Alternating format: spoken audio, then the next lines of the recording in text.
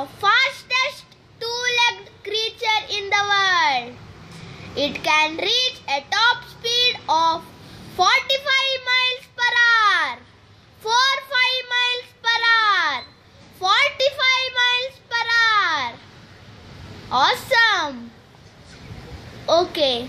Listen Which to this. which tune. is that? Ostrich, is it? O S T R I C H. Ostrich. Okay.